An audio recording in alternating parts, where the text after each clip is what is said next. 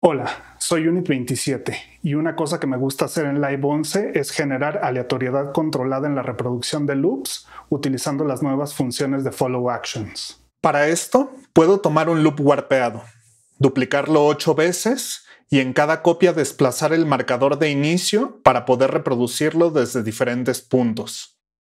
En este caso, los coloco cada octavo.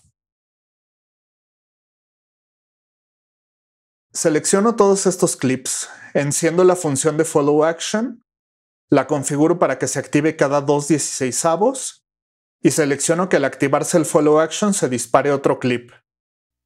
Con esto puedo crear una reproducción aleatoria del contenido del loop. Esto puede generar ideas interesantes, pero sin mucho control sobre las frases musicales.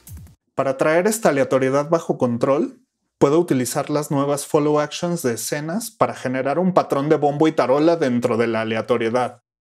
Programando el follow action de mi primera escena para que dispare la tercera escena después de un cuarto. La tercera escena para que dispare la séptima después de dos cuartos.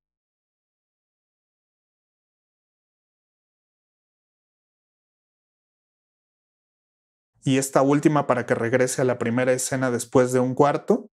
Siempre escucharé el bombo en el tiempo 1 y tarolas en tiempos 2 y 4, con el resto del loop generándose de forma aleatoria.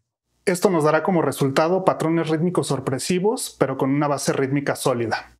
Con esta programación lista, puedo grabarlo generado a Arrangement View para editarlo con la nueva función de comping y con esto generar el loop perfecto.